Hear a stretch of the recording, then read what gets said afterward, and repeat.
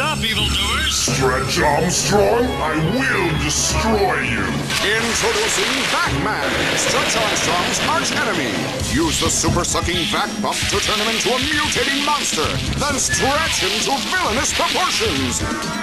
He stays that way until you press his cybernetic button. But will this be the end of Stretch Armstrong?